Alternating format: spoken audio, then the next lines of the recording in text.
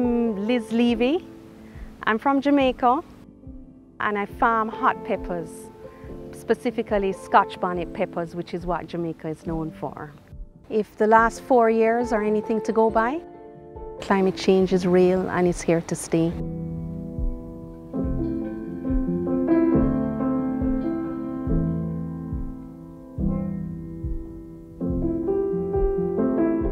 What is normal now? Is it the years when we have four months of back-to-back -back rains? Or is normal half the amount of rainfall? What is normal? I don't know. I'm still trying to figure it out. It's affected me to the point where I've had to relocate my whole farm from one area of the island to another.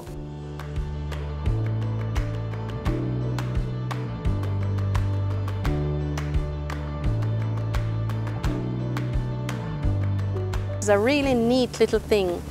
You enter the district that you're farming in and it has a tailor-made, a custom-made um, weather outlook for you for the next day or two. I know that I use it about 7 o'clock, so I can make last minute calls to my workers as to whether or not there are going to be any changes in what we do the following day.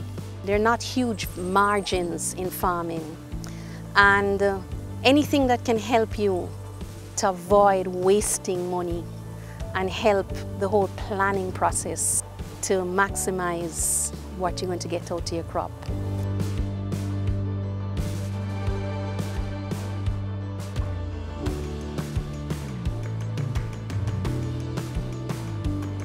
When it comes to climate change, the first thing is just to accept that it's real. Eh? It's not a fluke, it's not an odd year.